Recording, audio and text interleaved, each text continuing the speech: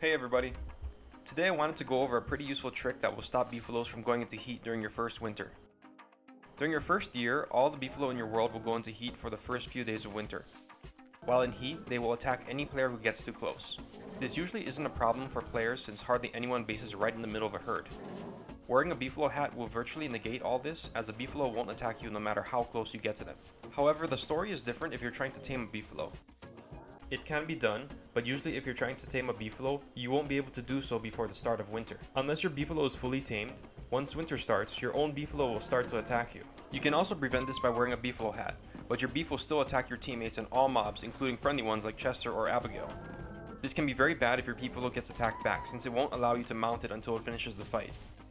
Probably the worst part of this is that the beefalo's buck timer will be severely reduced, causing him to buck you off constantly.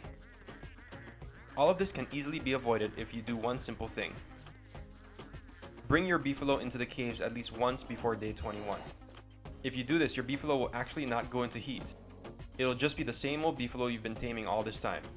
To bring your beefalo into caves, you just need to craft a beefalo bell, bind it to a beefalo, and enter the caves while the bell is in your inventory. With this, the beefalo will follow you into the caves. Once in the caves, you can just exit at any time you want. Even if you forget to do this by day 21, and the beefalo you are trying to domesticate goes into heat, you still just enter the caves and it will instantly go back to normal. So you can go about your winter not worrying about your beefalo attacking yourself, your friends, or dangerous mobs. You also won't have to deal with being bucked off so frequently, which can get very irritating very fast. Unfortunately, as the title of the video reads, this is how to prevent beefalos from going into heat during the first winter. This will actually not work when they go into heat during the spring. It doesn't matter if you take your beefalo into the caves, they will still go into heat on day 36.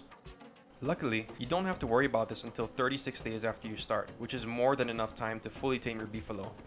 Once your beefalo is fully tamed, it won't ever go into heat, so more than likely, you'll have one fully tamed by spring. And that's how to stop beefalos from going into heat during your first winter. And of course, thanks for watching. Please leave a like if you liked the video or thought it was helpful. Comment to let me know what you think.